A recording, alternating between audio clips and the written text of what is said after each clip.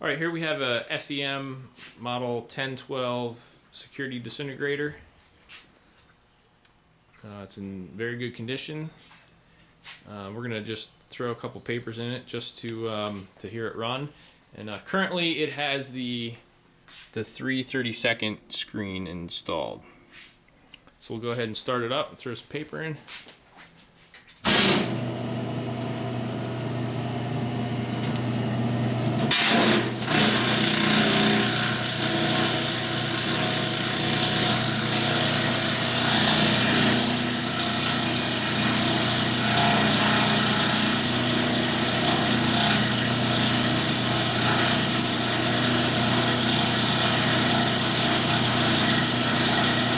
All right, now we'll just uh, open it up and look at the shredded material.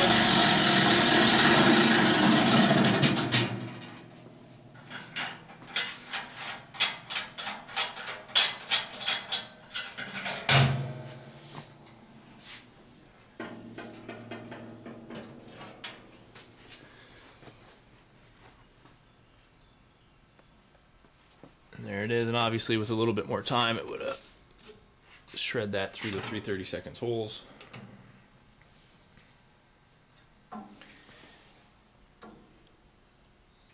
And there's the finely pulverized material that would get sucked out with the shop vac uh, if it were connected.